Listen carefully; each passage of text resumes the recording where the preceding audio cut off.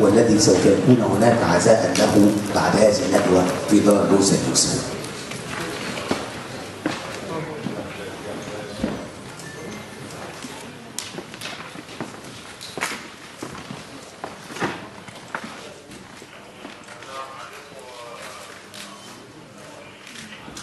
تفضل حضرتك